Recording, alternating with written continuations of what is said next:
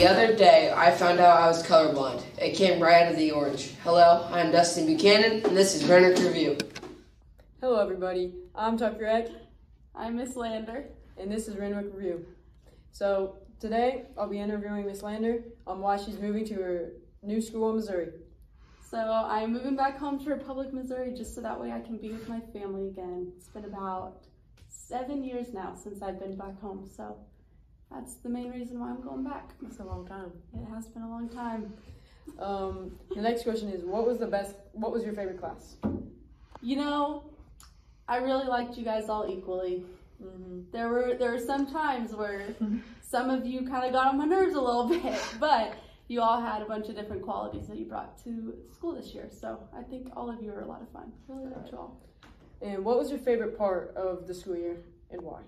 I'd have to say track season. I got to see all of you in a different light outside of the classroom, not inside um, doing work all the time. And I thought we had a lot of fun. And I got to see a lot of people accomplish some really cool things. So that was definitely my favorite. Track was really fun. It was but it really did go by really fast. It did. Yeah, I'm kind of sad it's over. mm-hmm.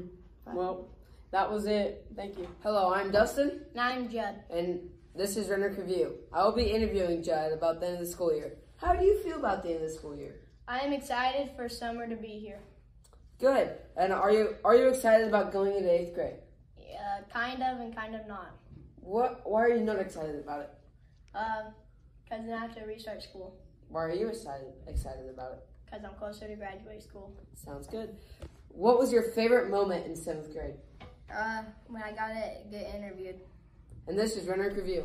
Hi, my name is Laken Gray. Why is it so hot in the corner of a room? Because it's 90 degrees. Thanks for watching.